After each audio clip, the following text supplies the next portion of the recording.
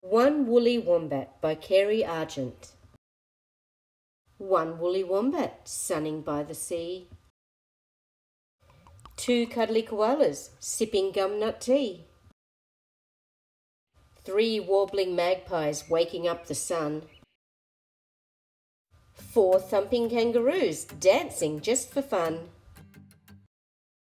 Five pesky platypuses splashing with their feet. Six cheeky possums looking for a treat. Seven emus running in and out of the bush.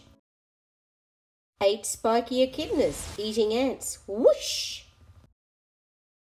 Nine hungry goannas wondering what to cook.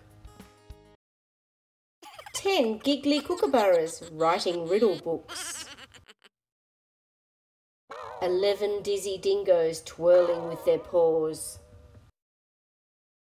Twelve crazy cockatoos counting on their claws. Thirteen hopping mice picking desert pea.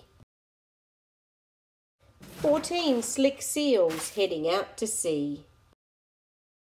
One, two, three, four, five, six, seven, eight, nine, ten, eleven, twelve, thirteen, fourteen.